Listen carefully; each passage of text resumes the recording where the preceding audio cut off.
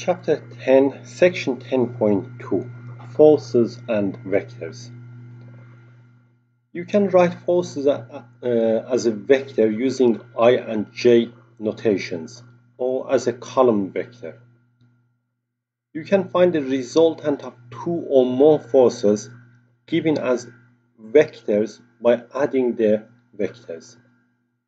Okay, so let's go through the example one the forces the forces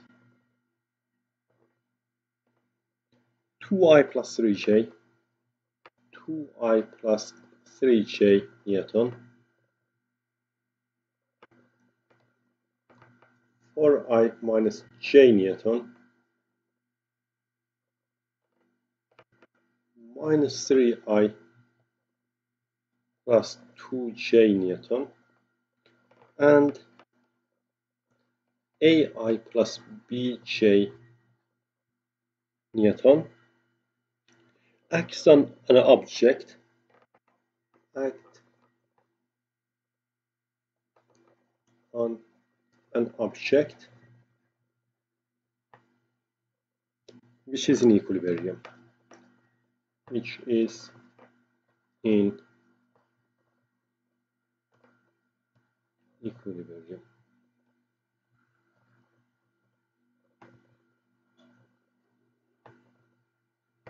Find the values of A and B.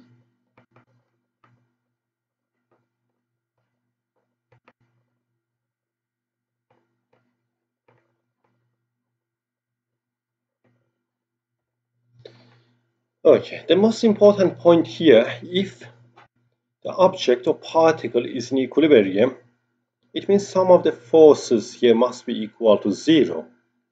Okay so let's write down all the forces in form of column vector that's always easy and convenient to add or subtract vector uh, forces when it's in form of column vector. Okay so the coefficient of i and j represent the x and y basically in each vector. Okay, so a b equals to as I said, so it should be sum of these forces must be equal to zero, meaning sum of the i components must be equal to 0 as well as sum of the y components must be equal to 0. So therefore addition of all these four forces to uh, four components of i must be equal to 0. Okay. So therefore 2 plus 4 is 6 minus 3 is 3. So therefore a is equal to 3 and similarly 3 minus 1 add 2 must be equal to 0. Therefore, 3 minus 1 is 2, 2 add 2 is 4. Therefore, p is equal to minus 4. So, therefore, the vector ai plus bj is the same as 3i minus 4j.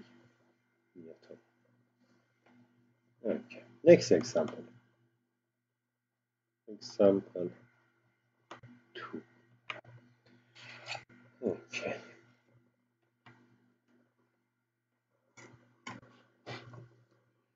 In this question, I represent the unit vector GU east and J represent the unit vector GU north. Okay, a particle begins at rest. Okay, a particle begins at rest. Okay, basically the initial velocity we need it is equal to zero. It is acted on by three forces. It is acted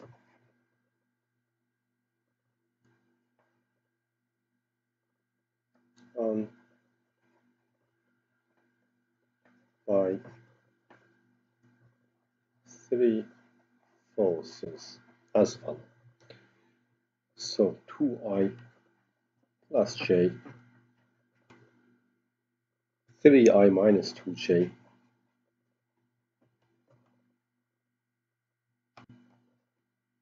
and minus i plus 4j yeah. A. Find the resultant force in the form of Pi plus Qj. Find the resultant force in form of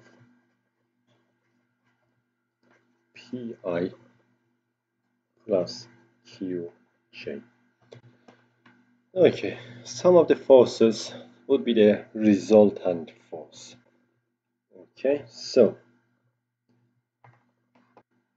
2, 1 add 3 minus 2 add minus 1 4 is equal. 2 add 3 is 5 minus 1 is 4 1 add minus 2 is minus 1 add 4 is 3 so since we've been asked to work out the resultant force in terms of pi plus qj we need to convert the column vector into pi plus uh, in form of pi plus qj, which will be 4i plus 3j newton. Okay. Part B. Work out the magnitude and bearing of the resultant forces. Work out the magnitude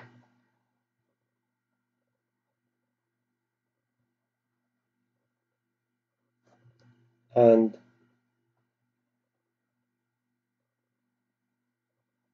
bearing of the resultant force.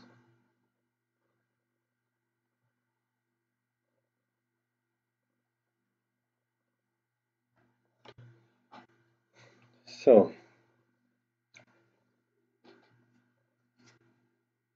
First of all, let's draw the or sketch the diagram for this force. Okay, so it says 4i. So if here is the origin, 4i would be 4 units. 1, 2, 3, and 4.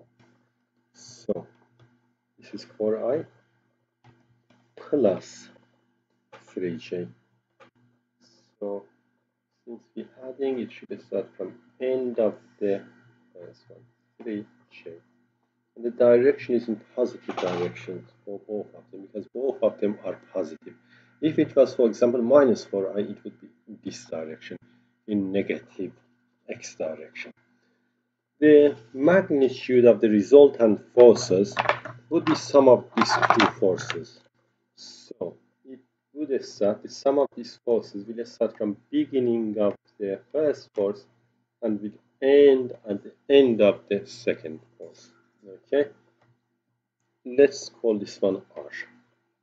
So we know that 4i okay, is in direction of east and 3j is in direction of north.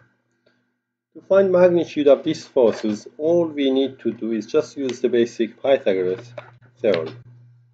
Okay, so we know this is 90 degrees angle, so therefore r is equal to square root of the 4s squared plus 3s squared. r is equal to 16 plus 9, which is square root of 25, and therefore 5 Newton. Okay, so to work out the direction, okay, bearing. Bearing is always a start from north, so therefore all we need to do just draw a line toward north. Okay, here is the line toward north. Okay, we want to work out this angle. I call this one theta and I call this one alpha. I can easily work out alpha and the relationship between alpha and beta is 90 minus, so theta is equals to 90 minus alpha. We know that the line toward north and east, they make uh, angle of 90 degrees, right angle. And if we work out this one and take away from 90, we will get this angle. Okay, how we can work out alpha? We know that tan alpha, we've got opposite and adjacent is equal to 3 quarter. Alpha is equal to tan minus 1 of 3 quarter. Okay, which is 36.9 to 1 decimal places. 36.9 to 1 decimal places. Therefore, theta is equals to 90 minus 36.9 which is 53.1 however we have to write down 0 0.53.1 degrees since it is bearing so we need to use the three digits before this one. However it could be 0 whole number rather than decimal. Okay. Part C. Describe the motion of the particle. Describe the motion of the particle.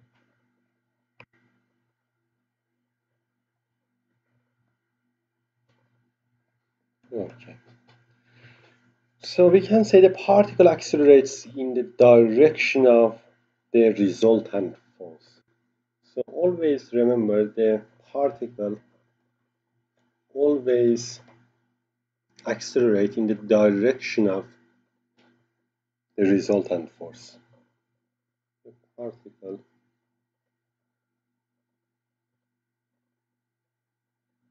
accelerates in the direction of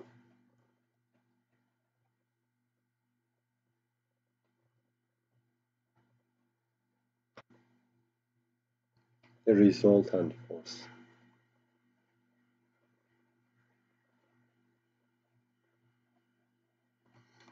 Okay, so we got to end up this section section 10.2 forces and vectors. After watching this lecture, you will be able to do exercise 10b from Edexcel textbook. Exercise 10b, which is page 161 and 162. Okay so next video hopefully we will go through some of the questions from exercise 10